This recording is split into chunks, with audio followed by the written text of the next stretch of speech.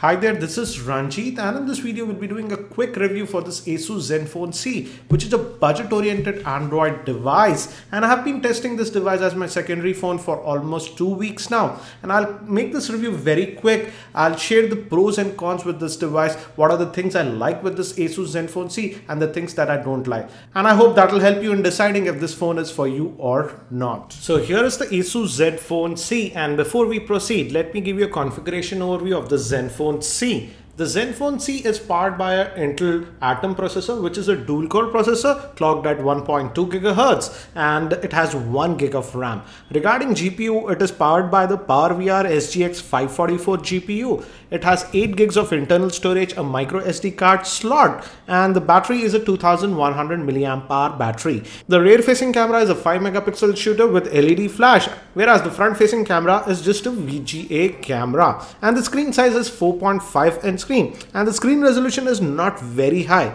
It's just 480 by 854. Hence the PPI is actually pretty low. That is 218.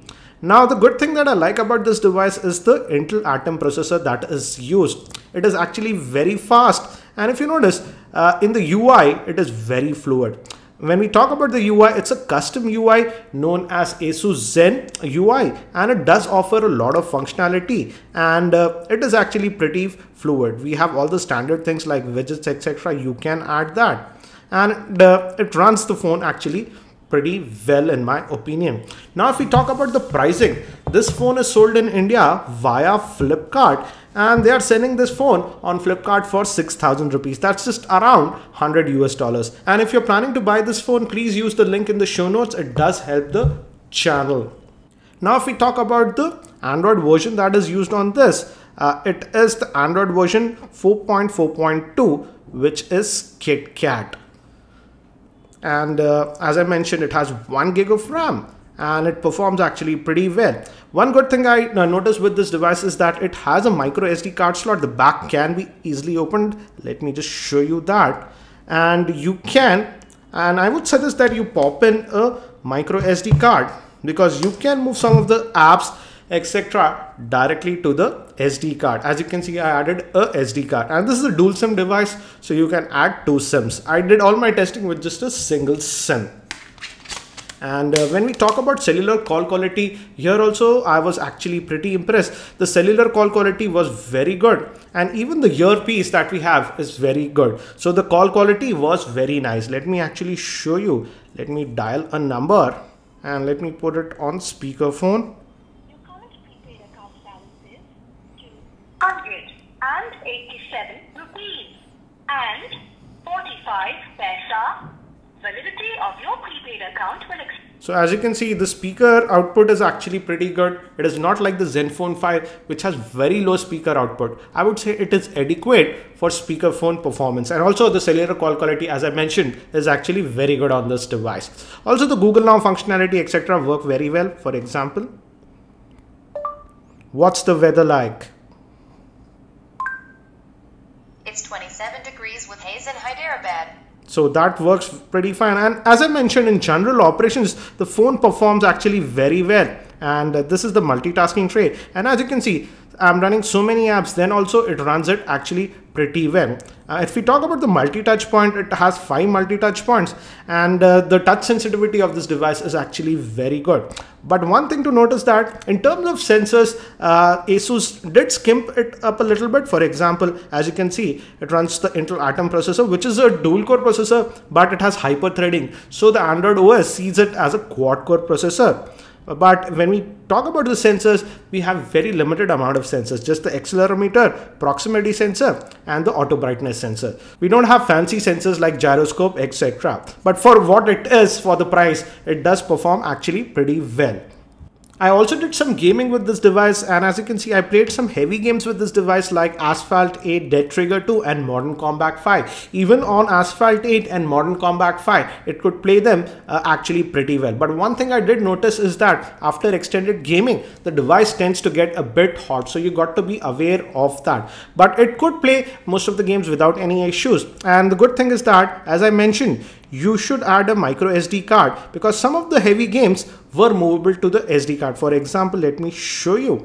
uh, this Modern Combat is a heavy game and I could move most of the game to the SD card. So you can move some of the uh, games to the SD card on this uh, from this device. So that's a good thing. For example, Dead Trigger also, I could move most of the game to the SD card. Not every app is movable to the SD card, but some of the apps are movable. So I would suggest that if you buy this device, put a SD card because internal storage, though it has 8 GB, you hardly get just about 4.5 gigs or so. Now if we move to the camera, the rear facing camera is a 5 megapixel shooter and on paper it can also record video up to 1080p. But in terms of actual performance, I was not happy with the camera performance because the photos that it takes with the camera are actually very average. The color accuracy is not that great and the pictures look very artificial and extra saturation is also there. Uh, so I was not happy with the camera performance. I also shot a video in 1080p, but as you can see, the video quality is also again very average. The video is very soft to my liking for a 1080p video.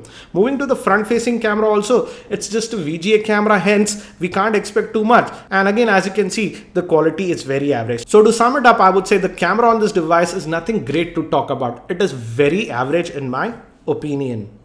So what do I feel about this Asus Zenfone C? The first thing that I really liked about this phone and you have seen from this review is how fluid this phone is. The Intel Atom processor runs this phone very well and it's very fluid in operations. It's very smooth even in multitasking though it has just 1 gig of RAM. Also the touch response is excellent on this device. And I also like the Asus Zen UI. It does offer a lot of functionality to this device. Now, if we talk about some of the cons with this device is the battery. The, the battery that is a 2100 milliampere battery is simply not as great as compared to many other Android phones in this price bracket. I would say the battery life is very average and I did my testing with just a single SIM. Just imagine what will be the performance if you use the dual SIM option. Also, when we talk about the camera, both the rear facing camera as well as the front facing camera are actually very poor. The color accuracy is off, very off. The pictures are very saturated and they look actually very unnatural. So I was not happy with the camera performance of this device, both the rear facing as well as the front facing camera. Also, one thing I did notice is that though the phone is very fluid in operations and it runs actually uh, things very well, even high-end games it could run very well. But one thing I did notice is that uh, the phone tends to uh, warm up pretty quickly. Even when you use the camera, the phone tends to get warm pretty quickly. So heating is an issue. It gets actually pretty warm while using the device. Also, the last con is the actual screen quality. The screen quality, in my opinion, is very average. It's not bad, but again, these days we have a lot of other phones in the market in this price brand. For example, the Redmi uh, uh, 1S, which is available for around 6000 the same price as this device. That phone has a lot better screen and even the camera compared to this one. And I would say if you can up your budget a little bit more, we also have the Lenovo A6000, which is available available for 7000 and I feel that is a much better phone compared to this Asus Zenfone C. So I would say this is an okay phone for the price it does the job but again it's not among the best. I hope that this video review helps you in making the right decision if this phone is for you or not. I hope that this video was helpful. If you found it helpful, I'll appreciate if you can click the like button. And if you're not subscribed to my YouTube channel, hit that subscribe button. Thanks for watching. This is Ranjit and I hope to see you in my next video.